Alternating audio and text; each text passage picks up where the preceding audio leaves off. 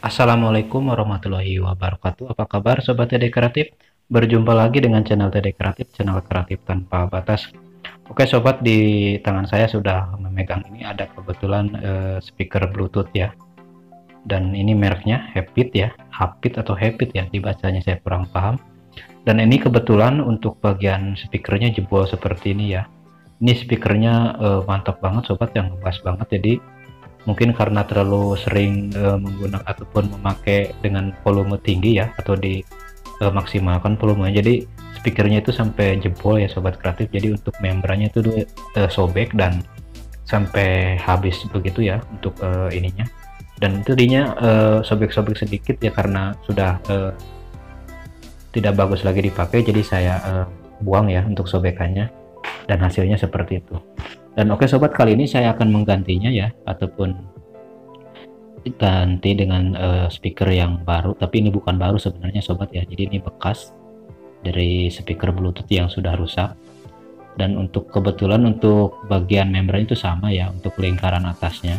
Tapi untuk uh, magnetnya itu uh, terlalu besar sedikit dan terlalu tebal ya sobat kreatif dan di sini saya akan pangkas sedikit ya untuk lubang speakernya seperti ini saya gosokkan-gosokkan saja menggunakan amplas ya jadi karena eh, perbedaannya cuma sedikit jadi saya menggunakan amplas saja ya itu sudah eh, cukup ya untuk eh, memangkas eh, lubangnya ataupun memperbesar lubangnya. Dan ini sudah masuk seperti ini sobat. Ya siapa tahu sobat kreatif di rumah eh, punya speaker bluetooth ya dan speaker bluetoothnya kalau dipakai itu suaranya sudah sember ataupun ya sudah kurang bagus ya jadi kurang e, bersih suaranya. Biasanya itu salah satunya ya penyebabnya speakernya itu udah rusak ya contohnya seperti ini. Dan ada e, dia itu e, robek ya di bagian membrannya. Dan itu kita bisa ganti ya jadi tidak perlu dibawa ke tukang servis elektronik jadi sobat kreatif bisa sendiri. Jadi e, untuk caranya kita bongkar dulu ya speakernya dan lihat untuk ukuran speakernya diameternya seperti uh, apa ataupun berapa untuk lingkarannya untuk uh, ketebalannya. Jadi nanti kita bisa cari ya uh, ataupun beli baru ataupun uh, itu biasanya banyak di online shop ya. Jadi untuk speaker speaker kecil seperti ini.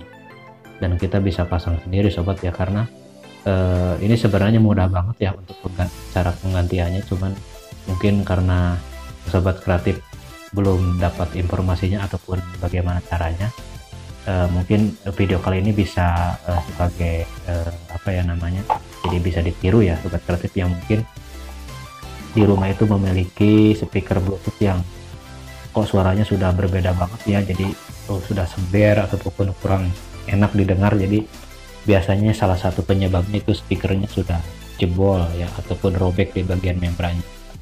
Oke ini setelah terpasang saya lem ya karena itu tidak ada lubang bautnya di bagian speakernya. Jadi saya putuskan dengan mengelem saja ya dilem saja.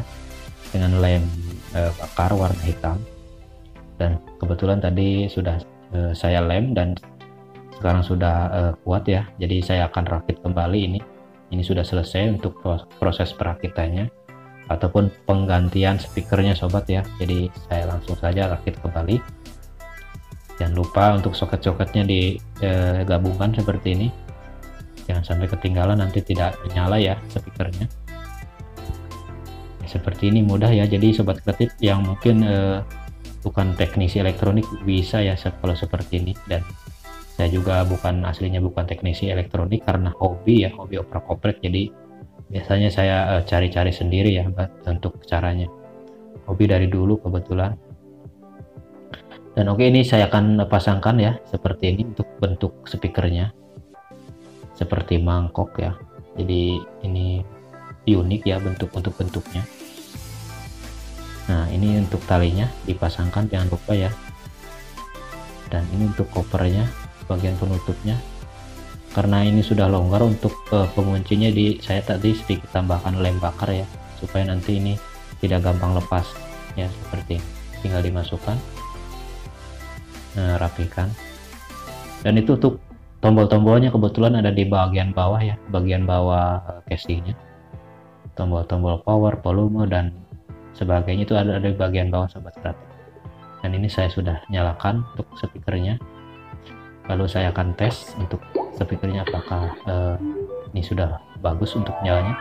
Oke sobat kreatif uh, bisa dengarkan ya untuk hasil suaranya sobat kreatif. Dan uh, mungkin ya nanti seperti apa? Apakah uh, bagus suaranya atau semper? Bagaimana? Nanti sobat kreatif bisa menilai sendiri.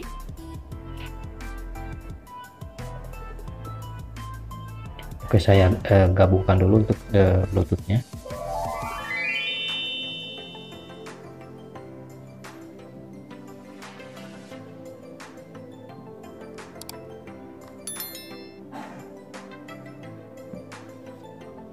Oke, saya akan memutar musik yang bebas klaim hak cipta, hak cipta ya sobat kreatif.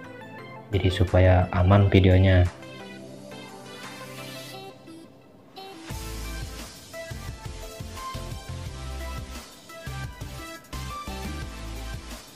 Oke, sebentar saya cari dulu dan ini ku sudah ketemu.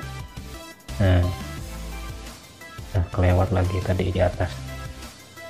Oke, sobat sambil menyimak sih bisa tekan like like dan subscribe ya supaya sobat kreatif tidak ketinggalan video-video menarik berikutnya.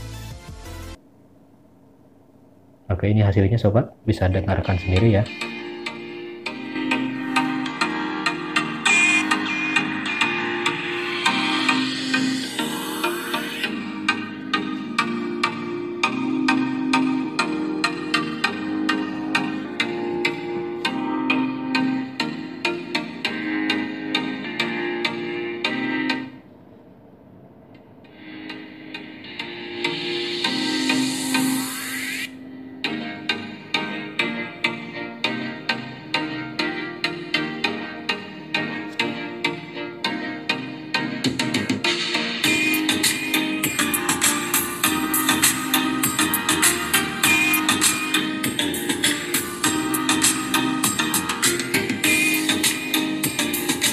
Oke sobat kreatif terima kasih sudah menyimak video kali ini. Sampai jumpa di video selanjutnya.